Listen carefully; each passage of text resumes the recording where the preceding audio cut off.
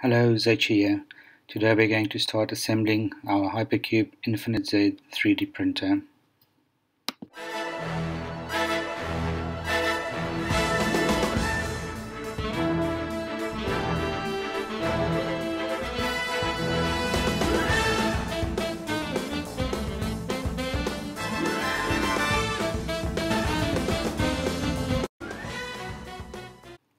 I started by printing the Hypercube plastic parts in PETG. This is red PETG from Aurorum.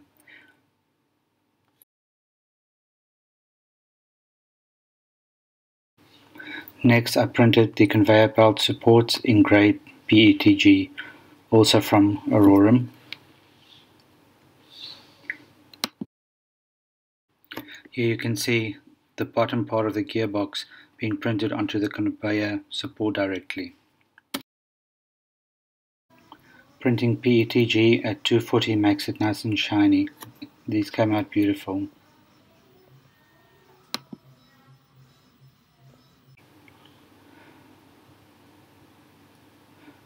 These are the feet that I printed. You can see inside there are T-slot nuts to hold the uh, beams in place and also on the other side.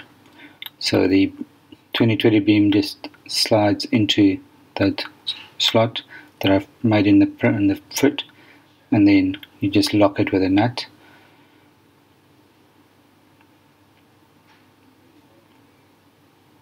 The same on the other side. Uh, the short legs for the uh, printer just simply slides in there and on the other side as well. These will also be locked with a T-slot nut. And on the top goes the standard um, hypercube, what is at the Y, y direction. Just tighten this nut up a bit.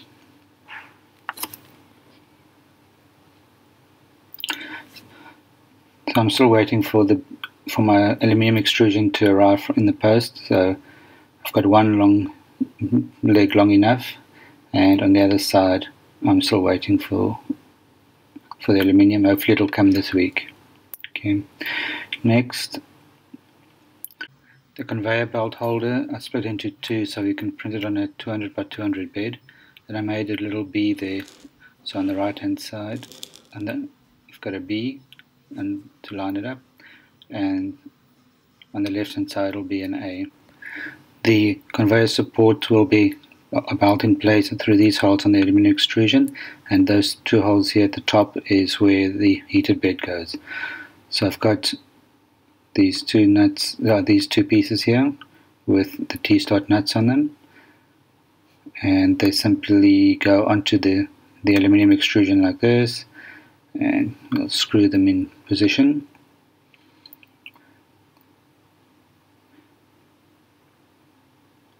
Then I take the other P's, line up the B's, and the other side would be the A's, and screw it into position.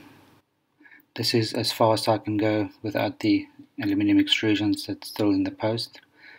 I'm also waiting for my electronics from Banggood and from AliExpress. So like and subscribe. Thank you.